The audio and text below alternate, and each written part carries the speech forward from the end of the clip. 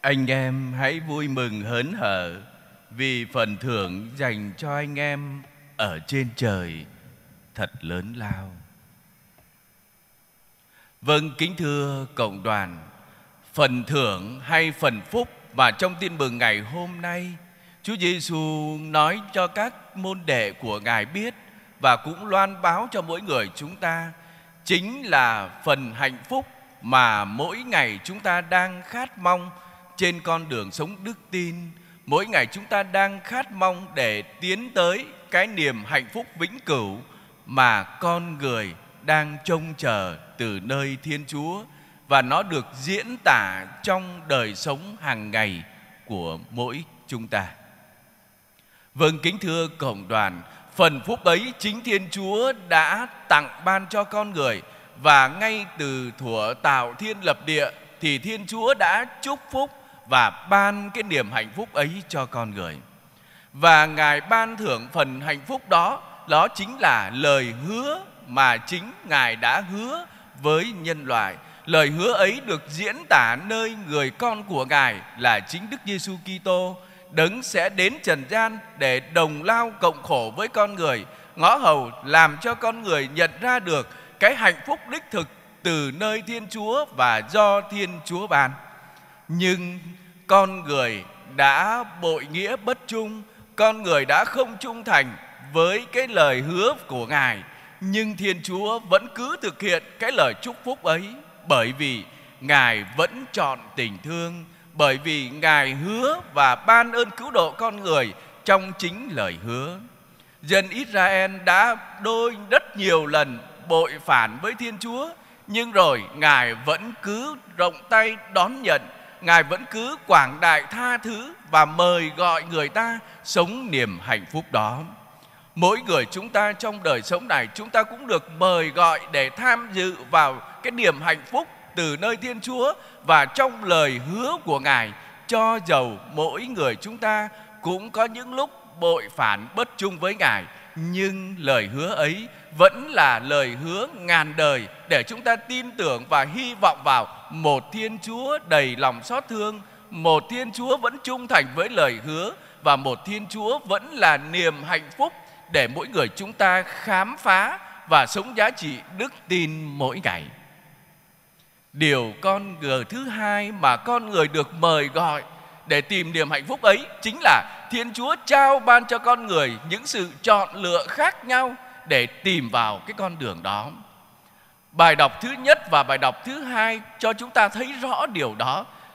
Sách ngôn sứ Sophonia nói rõ đó là hãy khiêm tốn, hãy hiền lành, hãy nhân hậu, hãy từ tâm thì sẽ khám phá ra được ở nơi lòng của mình những cái điều tự do đích thực và nó khác hẳn so với những quan điểm của người trần gian Bài đọc thứ hai Thánh Phaolô nói rõ quan điểm của người trần gian thì chính những cái mà sức mạnh, những cái uy quyền, những cái thế lực của trần gian Thiên Chúa đã đạp bỏ tất cả để rồi hạ nâng lên những cái điều mà thế gian cho là hèn mạc, thế gian cho là rách rưởi, thế gian cho là thứ bậc thứ hai, thứ ba trong đời sống này thì Thiên Chúa lại nâng nó lên trong chính ân sủng và thánh thần của Ngài để cho con người mỗi ngày tìm kiếm và khám phá ra được sự khôn ngoan của nơi Thiên Chúa và trong sự soi sáng của Thánh Thần thì mỗi người nhận ra được cái sự hạnh phúc của mình là gì mà dấn thân trong cuộc đời hiện tại. Kính thưa quý ông bà và anh chị em, khi người ta nhận ra được cái hạnh phúc từ nơi Thiên Chúa và khi người ta khám phá ra được cái hạnh phúc ấy trong chính sự tự do của mình thì người ta sẽ vượt qua những cái thách thức. Bởi vì trong tất cả mọi sự tự do để chọn lựa thì không có sự tự do nào mà không đưa con người đến những cái thách thức ghê gớm, nhất là thách thức về đời sống đức tin. Làm sao chúng ta trung thành với một thiên chúa mà chúng ta cầu nguyện mãi, nhưng ngài cũng chẳng để tâm đến, nhưng ngài cũng chẳng lắng nghe, cũng chẳng ban cho những người gì chúng ta cầu nguyện làm sao có thể tin được một Thiên Chúa vẫn cứ để cho những cái sự thế gian này nó lấn át những gì là sự thiện? Không phải là một Thiên Chúa cứ ngồi yên đó để nhìn con người đau khổ, để ban một cái thứ hạnh phúc mơ hão huyền nào đó. Nhưng là chúng ta khám phá ra được rằng là gì? Trong chính những sự tự do của con người thì con người tìm được cái hạnh phúc và cái hạnh phúc đó là chính nơi Thiên Chúa và Thiên Chúa giàu lòng từ bi nhân ái, Thiên Chúa luôn luôn nhìn đến con người và ban cho con người những cái niềm hạnh phúc mà con người không bao giờ nghĩ tới. Cái điều mà chúng ta nghĩ tới, Thánh Phaolô nói nếu mà chúng ta đã chạm vào rồi thì nó không còn niềm hạnh phúc nữa. Nhưng mà những điều chúng ta nghĩ tới mà chúng ta chưa chạm được, chúng ta vẫn hy vọng thì đó mới là giá trị của mầu nhiệm nước trời. Đó là hạnh phúc thật mà trong đức tin mỗi người chúng ta đang dấn thân và đang ước mong để sống cái đức tin đó. Kính thưa quý ông bà và anh chị em, vậy thì điều mà chúng ta được mời gọi để xây dựng cái niềm hạnh phúc của người sống Kitô hữu đó là gì? Thưa ấy là lời nguyện nhập lễ mà chúng ta vừa lắng nghe rất ngắn nhưng mà đầy đủ hết tất cả những ý nghĩa để mỗi ngày chúng ta khám phá ra cái giá trị hạnh phúc đức thực mà Thiên Chúa mời gọi. Lạy Chúa xin hướng dẫn, xin dạy cho chúng con biết thờ phượng một Thiên Chúa và biết yêu thương anh chị em.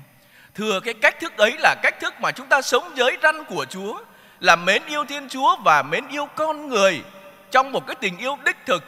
thì người ta sẽ nhận ra được những cái điều cần thiết trong đời sống này để rồi người ta xây dựng cái mối tương quan với Thiên Chúa trong cái tình yêu mến, trong sự trung tín trung thành và người ta xây dựng với nhau trong cái tình tương thân tương ái với nhau. Sống công bình, sống hiền hòa, sống nhẫn nại, sống bác ái, quảng đại thứ tha, tất cả những cái đó nó thế gian này cho nó là những cái điều có thể là thiệt thòi, thua lỗ nhưng trong chính Thiên Chúa thì chúng ta lại là những con người mạnh mẽ để vươn lên mà sống cái niềm hạnh phúc mà mỗi ngày chúng ta đang khát mong.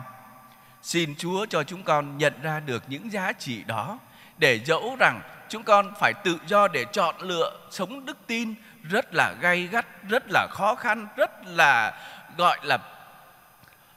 khổ sở là đằng khác nữa trong cái lương tâm của mỗi người chúng con nhưng xin cho chúng con khám phá ra được rằng, trong chính thánh thần của Thiên Chúa soi sáng, thì chúng con sẽ khôn ngoan để chọn lựa, để sống sự trung thành, khôn ngoan để xây dựng các mối phúc mà Chúa mời gọi mỗi người chúng con trong đời sống này, để rồi dẫu có phải gặp những cái khó khăn, những cái nghịch lý trong đời sống này, thì chúng con cũng vẫn luôn xác tín được rằng chính Chúa là niềm hạnh phúc và chính đường lối của Ngài hướng dẫn trong thánh thần thì chúng con sẽ đi đến cái đích điểm là hạnh phúc nước trời mà mỗi ngày chúng con đang khát mong. Amen.